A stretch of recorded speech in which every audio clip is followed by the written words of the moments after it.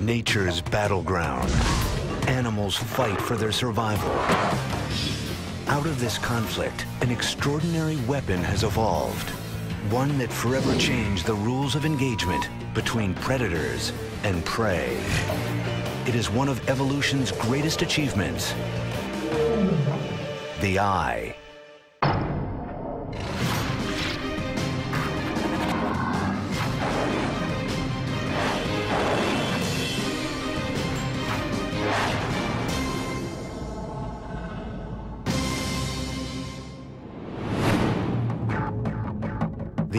Kingdom encompasses millions of species, and more than 95% of them share a common trait, the power of sight.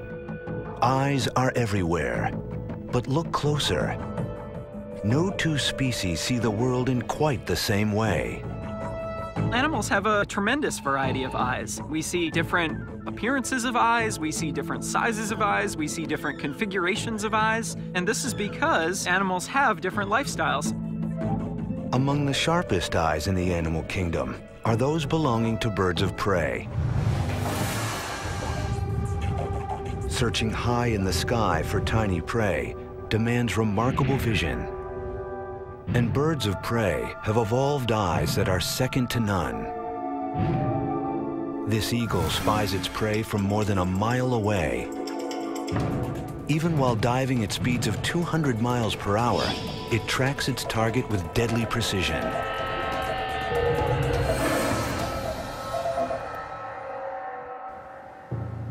The secret to the eagle's success? The anatomy of its eye. In most cases, the larger the animal's eyes, the sharper its vision. And the eyes of the eagle are huge. Eagles are 100 pounds lighter than we are, but their eye weighs the same as ours. Size is just for starters. The back of our eye has 200,000 light-capturing cells per square millimeter. The eagle's has 1 million, providing five times the image resolution. Its lens is flatter and placed farther away from the retina than ours.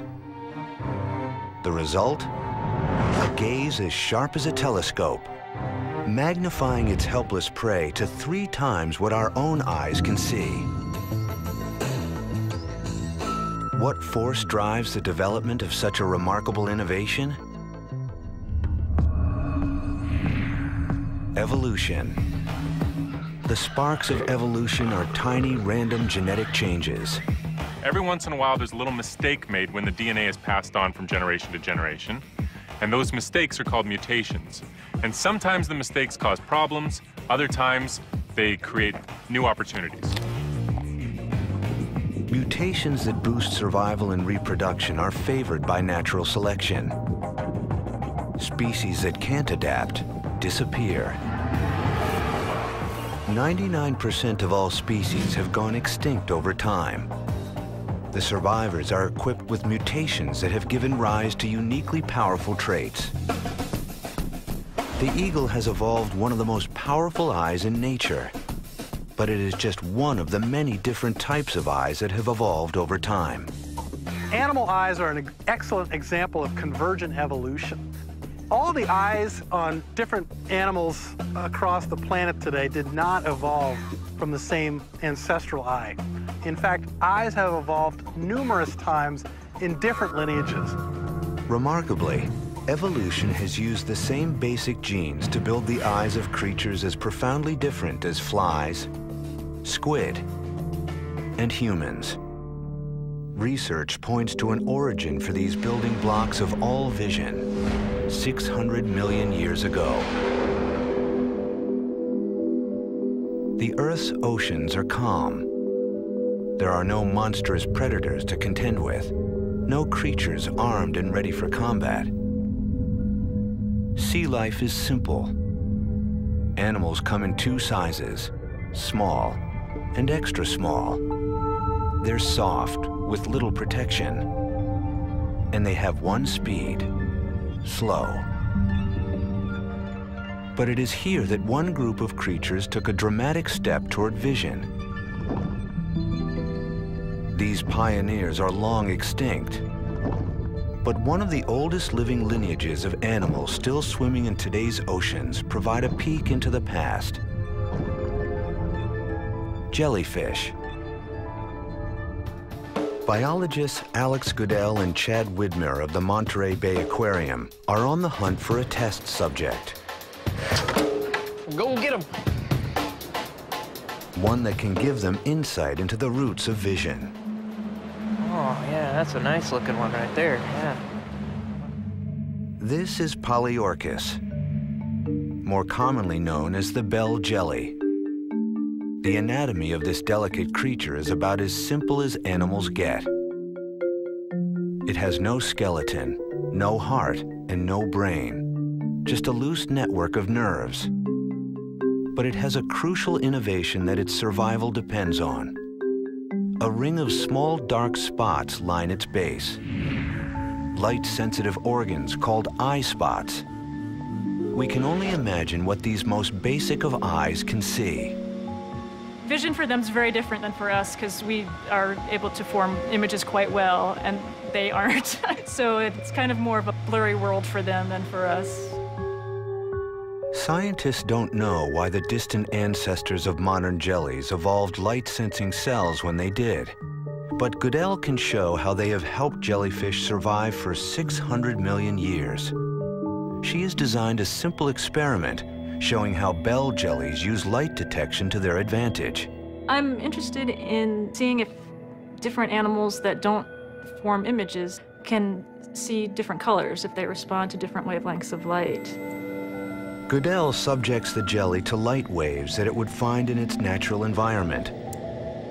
First, she hits the jellyfish with a dose of green light.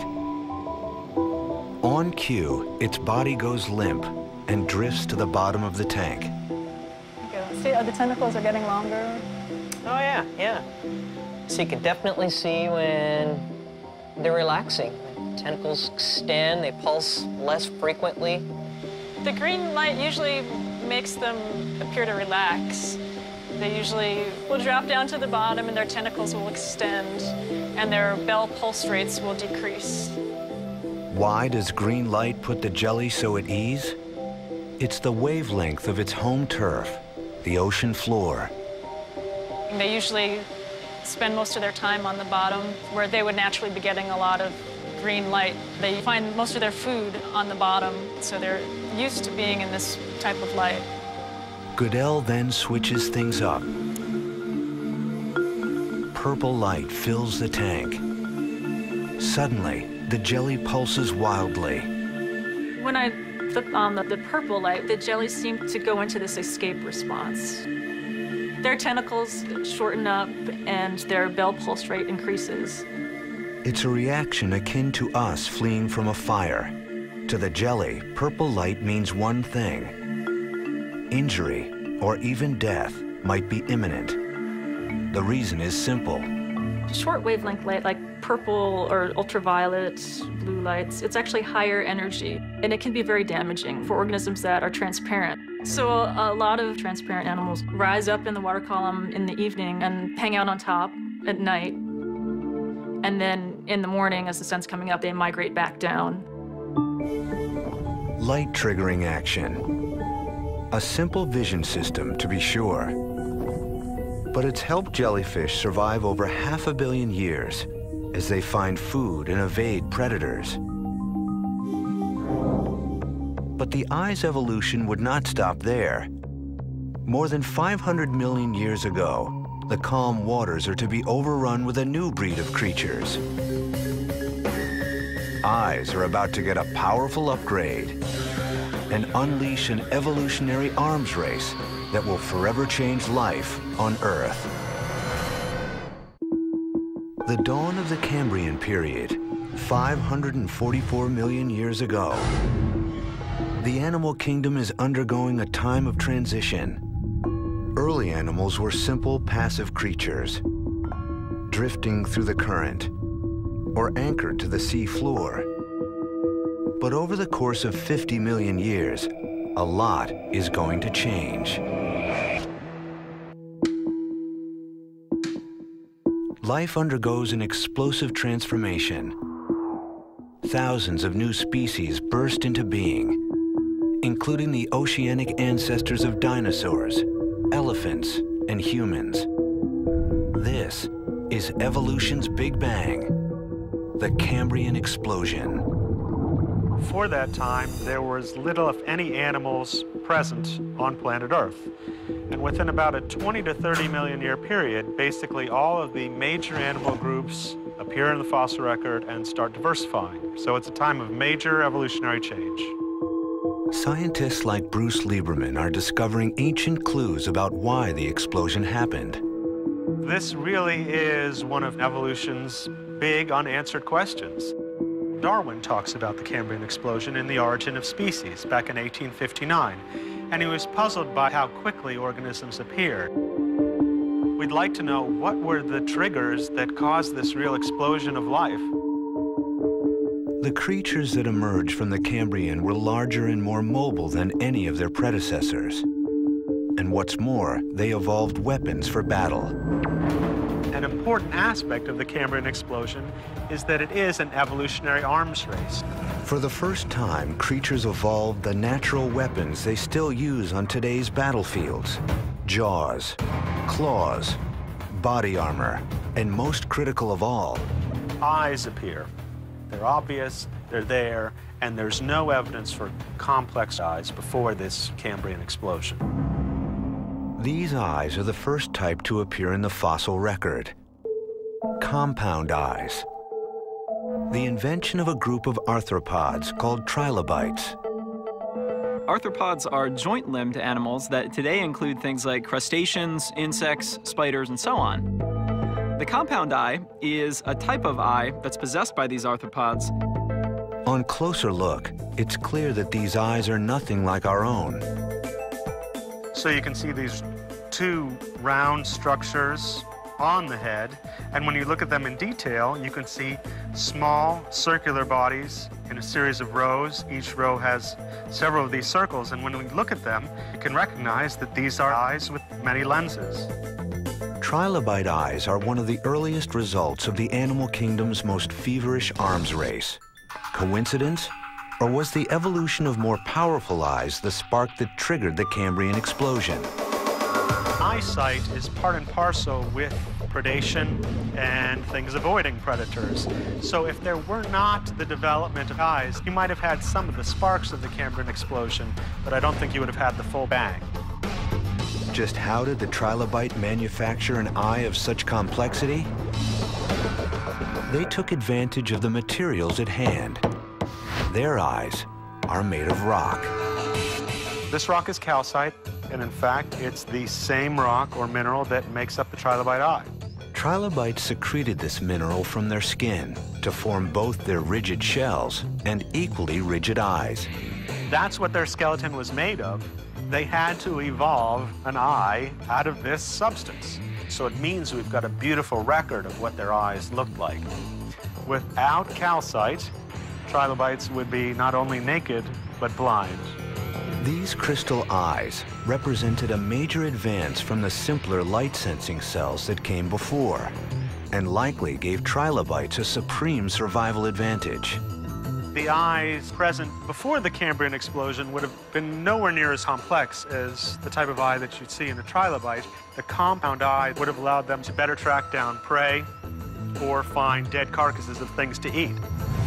True visionaries, trilobites diversify and endure for nearly 300 million years before a mass extinction event wipes out the last of their species. But other arthropods survive, and one group takes the compound eye to new heights. Insects. We look at the most abundant animal life form on land, it's the insects. There are literally more than a million species of insects that are present. They all have a complex compound eye. The first insects evolved around 400 million years ago. While they share a common ancestor with trilobites, they are not their direct descendants. Studies show they evolved their compound eyes independently, but from the same genetic blueprint. An array of microscopic lenses that work together to form an image. The greater the number, the finer the detail. Fruit flies have hundreds of lenses per eye. Bees boast an astonishing 7,000 lenses. But evolution drove one insect to develop a compound eye of staggering complexity, the dragonfly. Each eye has a mind-boggling 29,000 lenses, making for the ultimate motion detector. In pursuit of fast-moving prey, dragonflies give chase at a staggering 38 miles per hour. Their eyes' focusing power is poor, but their processing speed is spectacular, resolving images five times faster than our own. The result? Lightning reflexes, ideal for timing strikes and avoiding high-speed collisions. The success of insects has made the compound eye the most prevalent in all of nature. But it would not be the only vision system to emerge from the Cambrian explosion. Another group of animals evolved, one that would launch the prototype for an advanced eye of their own, the vertebrates. The eyes of insects and the eyes of vertebrates represent different instances of the origin of eyes. They've evolved from different ancestors to achieve the same end. The vertebrate eye gets its start as a simple light detector. Over time, it will evolve and become the targeting system for history's largest predators.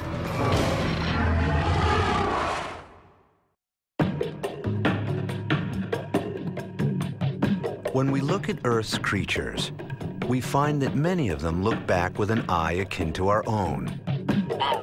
In fact, one type of eye powers the vision of all vertebrates, animals with a backbone.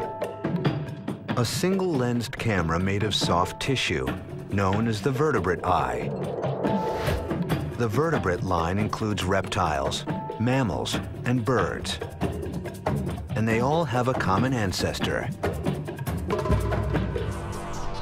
primitive worm-like animal that lived during the time of the Cambrian explosion. How this creature's crude eyes developed into the intricate organs we see with today has fascinated scientists since Darwin. The vertebrate eye is really an icon of evolution. Early detractors of Darwin used it as an example of a feature that is so unbelievably complicated and uh, it's so obviously a machine and there's so obviously the mark of an intelligent designer there.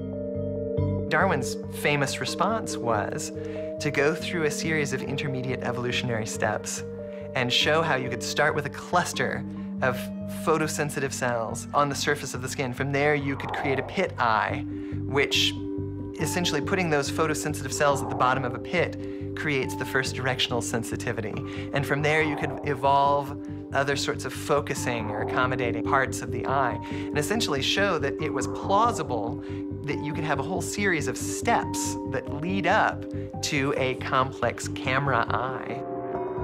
This new eye would sweep through the ocean, providing an advanced weapon in the escalating battle between predators and their prey.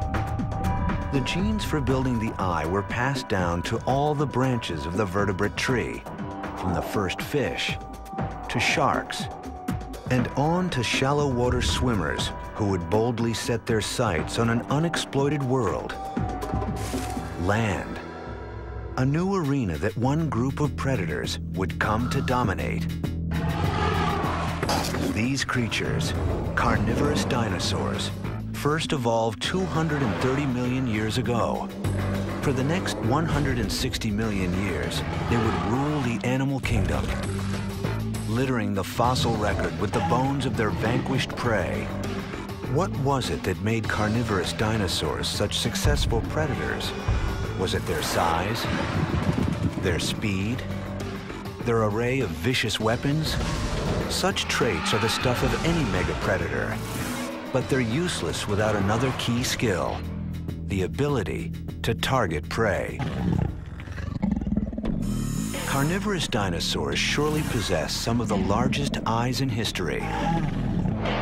But how might their vision have helped them become such extraordinary predators? Paleontologist Kent Stevens made it his mission to find out.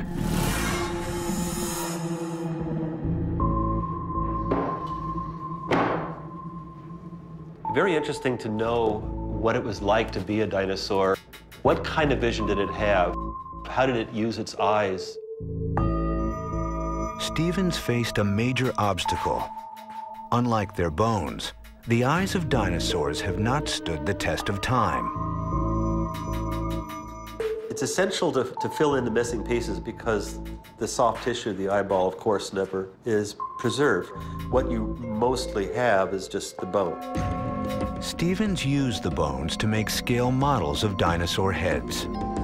These models would serve as a window into dinosaur vision. What I came up with is a way to estimate how well the dinosaur could look out into the world by my looking at the animal. Stevens devised a novel way to make his dinosaurs see. Lasers. The beam lit up the eye, allowing Stevens to plot its line of sight. When the illuminated eye became obscured by the creature's brow or snout, Stevens had reached the limit of what that eye could see. I decided I will trace those lines of sight on an intervening glass between me and the animal, where if I couldn't see it, it couldn't see me. By mapping the lines of sight of both eyes, Stevens could calculate their degree of overlap. When I have these dots now, if I connect them, this actually represents the region which both eyes could see. The area where Stevens's markings overlap is known as the binocular field of vision. What advantage does binocular vision provide? Binocular vision, seeing something with two eyes, is uh, very good for making fine depth judgments. If you have two eyes and you can simultaneously focus on an object in space in front of you, your brain can do a little bit of trig and decide how exactly how far away that object is. How would this aid a predator? Imagine a large dinosaur whose two eyes face to the side, resulting in two fields of view that don't overlap. This makes it difficult for the creature to see an object as distinct from its background and to gauge the distance to it. But if its eyes face more forward, their fields overlap, providing a degree of binocular vision. Suddenly, it's a 3D world. Engaging distance to a target is no longer a problem. Stevens knew if he could work out the binocular vision of carnivorous dinosaurs, he could determine how they hunted their prey. He trained his sights on the most iconic member of their group, Tyrannosaurus rex. With 13-inch canines, this six-ton beast was certainly armed to the teeth. But did T-Rex have the targeting system to back up its bite? T-Rex had 55 degrees, which is very substantial binocular overlap, as much as hawks. Stevens concluded that this vision system allowed T-Rex to target its prey at a distance and pursue it on the run. That certainly would have selective advantage toward being a better predator. You can just stay locked onto your target, and the amount of overlap could allow you to see how the world is moving as, as you're moving forward. 3D vision was a vital part of T-Rex's arsenal. And looking at skulls from different points in the animal's history, Stevens found it evolved even better 3D vision over time.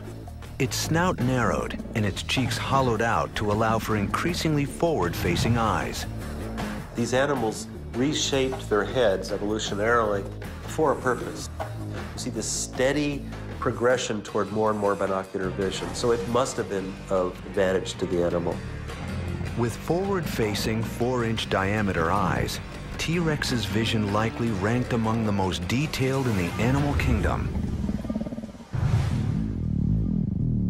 But as Stevens discovered, not all carnivorous dinosaurs could hope to follow T-Rex's lead.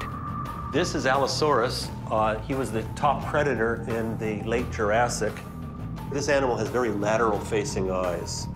And not only that, but there's a whole structure here along the top of the snout of this animal, which completely obliterates the view from the left eye to the animal's right and vice versa. So this animal has essentially blinders on it that keep it from being able to have a very wide field of view. Allosaurus turns out to have about 20 degrees of binocular overlap.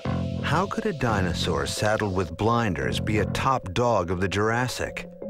It turns out less binocular vision led Allosaurus to assume a craftier mode of predation. Modern predators that have so little overlap between the two eyes, you tend to find that they are ambush predators, like a modern crocodile. One of the important aspects of an ambush predator is to be able to have surveillance and awareness of what's going on around it. So the idea of lateral facing eyes is completely consistent with a, an ambush predator. They basically wait until the meal comes to them. They have a task of judging whether the time is right to lunge and try to take out the prey.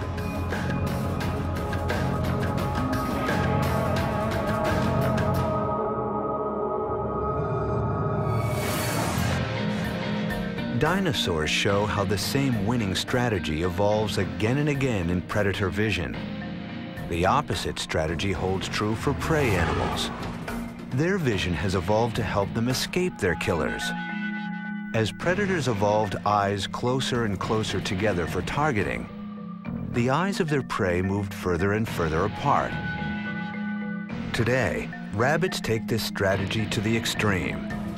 360 degree vision. Rabbit eyes evolved to sit high into the sides of its skull. While its vision is not three-dimensional, it allows the rabbit to see any threat at any angle. Rabbits, like humans, are mammals. And back when dinosaurs still ruled the Earth, our mammal ancestors had to do much more than keep an eye out.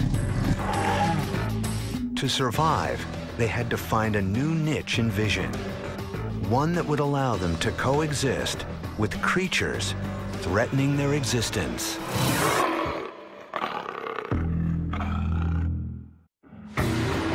One hundred million years ago, dinosaurs rule the Earth. The odds are stacked against any animal competing with these mega predators especially for the evolutionary newcomers, the world's first mammals, pint-sized animals not much larger than mice.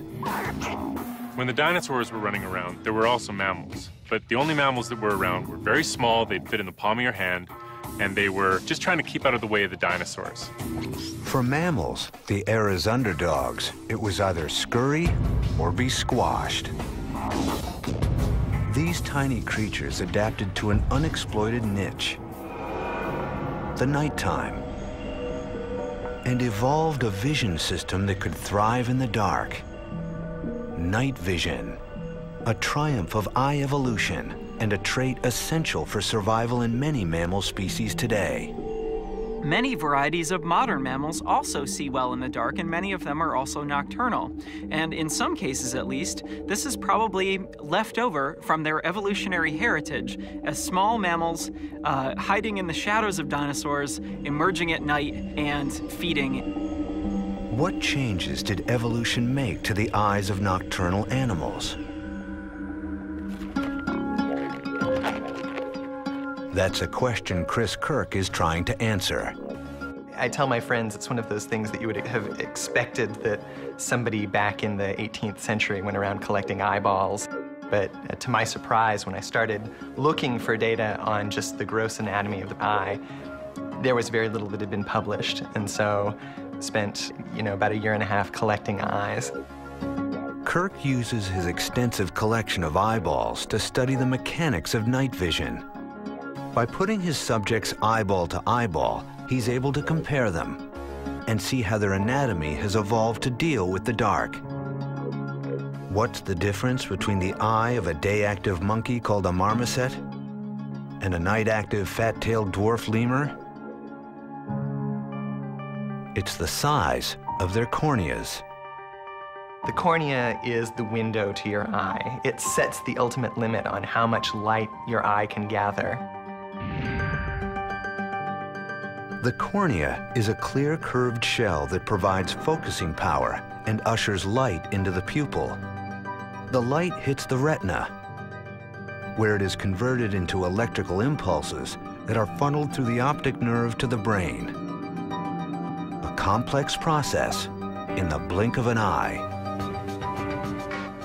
The diurnal monkey has got a very small cornea because it doesn't need to let in as much light, uh, which you can see here, as the nocturnal lemur, which has a very large cornea that takes up nearly the entire anterior surface of the eyeball. For night hunters, a bigger cornea is key to catching fast-moving critters in the dark.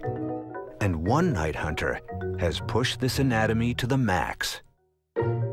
Tarsiers are something completely unique. There's nothing else like this in the world of vertebrate eyes. The diameter of the tarsier cornea is almost equal to the diameter of the eyeball. There are 5,400 species of mammals. Relative to size, none have eyes as large as the tarsier. At six inches tall, it's one of the world's smallest predators. But its surveillance system outsizes the competition's. So tarsiers need both highly sensitive vision and acute vision. One of the only ways you can get this is to build a bigger and bigger eye, and that's exactly what tarsiers have done. How big? Try bigger than its own brain. So this is the eye of a Philippine tarsier, and you can see that its cornea is actually a little bit larger than my own corneas. Uh, but what's really amazing about this is the fact that a tarsier's head is only this big. The tarsier's eyes are so large, they need extra support to keep from tumbling out. The eyeball extends past the margins of the orbit, and they have to have strong connective tissue in their eyelid to hold the eyeball in place. With immobile eyes, the creature compensates with a neck that rotates more than 180 degrees. Tarsier's visual adaptations show the extremes to which evolution will go. Many mammals, such as big cats, evolved another way to boost their nocturnal vision. A staple in fables and fairy tales, glowing eyes have haunted children for centuries. A nightmare to some is evolution's gift to others. And they can see us just fine. They can see us a lot better than we can see them, for sure. If one of them was over there stalking us, we wouldn't even know that they were there even, you know, without this kind of light, they know when we're coming and they know who's coming. Eyeshine functions as more than a mere scare tactic. It's an adaptation that has made cats spectacularly successful night hunters. These guys, they're uh, they're very active at night, and uh, in fact, you can hear them making their noises. Uh, particularly the lion when he starts to roar, even at this hour, high kiki. Also, the eyeshine. Not only can they see their prey better, but also I think it makes them more intimidating to any pred other predators that are out there. The source of the eyeshine is buried deep in the anatomy of the cat's eye. Hold on to your hat. Kirk's careful dissection reveals its inner workings. First, the retina. Then, the light-sensitive tissue lining the back of the eye. This area is known as the tapetum lucidum. Tapetum lucidum is Latin for bright carpet. So it's the bright carpet in the back of your eye behind your retina. So how does the tapetum work? In your eye, or my eye, there's a black pigment behind the retina that absorbs the light so that it's not scattered. But in species with tapeta, any light that's not absorbed by the retina bounces off the tapetum, the mirror behind the retina, and essentially has a second chance to be absorbed. So you've got twice the chance to absorb every incoming photon of light that your eye captures. On the rebound, some of the light shoots back out of the eye, resulting in a glowing effect. For cats, this mechanism yields extraordinary benefits. They require only one-sixth of the light that humans need to be active in the dark. I think of the tapetum as just this marvelous adaptation. Um, you know, it's such an elegant solution to a pretty straightforward biological problem. And, you know, putting a mirror behind your retina to increase sensitivity, what could be simpler? Cats were far from the only mammal group to evolve such an ingenious solution to night vision. Other species would reach the same result entirely on their own. But I think really the most interesting thing about the evolution of the tapetum lucidum is that it's such a good solution to this problem of enhancing sensitivity that many, many different groups of mammals have arrived at this same solution independently. What about us? Even though we are mammals, we struggle to see clearly at night. That's because 30 million years ago, our ancestors shifted from the night to the day. When these monkey-like creatures moved to a new niche, they would evolve eyes that could see the world like never before. The human eye, able to decipher 2.3 million colors with speed and precision that makes a computer look slow. Our color vision is superior to that of many other mammals, who must get by with far less. To a dog, the world is virtually devoid of color. Only a small number of species, including our primate relatives, can see a full range of yellows, blues, greens, and most significantly, reds. But such adept color vision does not exist in the earliest primates. Its evolution has its roots in the aftermath of a mass extinction. About 66 million years ago, a gigantic asteroid caused the extinction of all non-avian dinosaurs and paved the way for the rise of mammals. After the dinosaurs disappear, mammals radiate. All of a sudden, they start diversifying, and one group of mammals is the primates, and they go straight for the trees. Once primates settle into the forest canopy, they evolve into new species. One of those lineages becomes day active, the ancestors of today's monkeys, apes, and humans.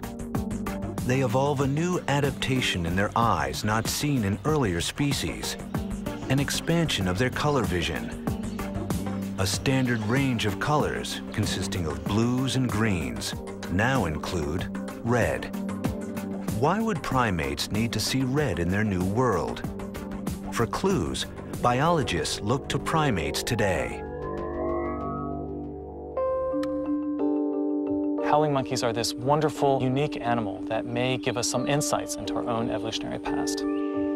Biologist Nate Dominy has spent his career researching primates as a means of understanding our own evolution. They're almost like a time machine for looking at what the ancestral monkey in Africa and Asia might have been like. We might get clues to what its diet was like, its social behavior, its anatomy, and that ancestral animal was the one that gave rise to all subsequent monkeys and apes and ultimately humans. Dominy wanted to know why natural selection favored improved color vision in our ancestors. What did they gain by evolving to see the color red? Dominy went on a year-long journey to study primates in their natural habitats. Part of my PhD research was to go to Africa to study monkeys with different diets and to study chimpanzees and to see if there was some sort of common or unifying food item that they might have all turned to that might explain why these monkeys all routinely share a very similar type of color vision. Dominy scanned the rainforest canopy for test subjects, hoping to capture leaf samples from where the monkeys had stopped to eat. But he had a problem what a monkey eats was high above his reach. It's challenging, in, in the rainforest in particular. When an animal is at the top of that tree eating something, and you want the sample, there's not many ways to get it. Left with no other choice, he had to take up arms.